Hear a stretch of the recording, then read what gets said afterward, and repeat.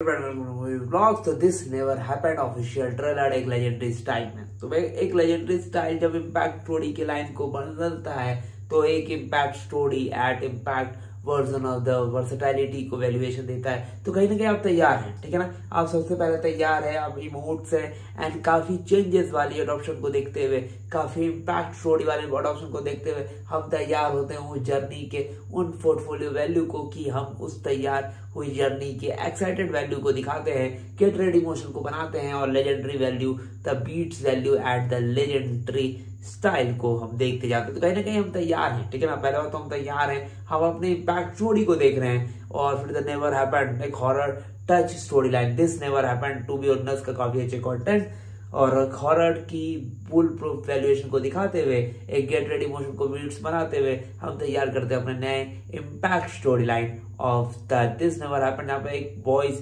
Hang out कब से एक हॉरर टच हो जाए? सीक्रेट बिहाइंड द हॉरर क्या सब्सक्राइब कीजिए ब्लॉग्स को मिलते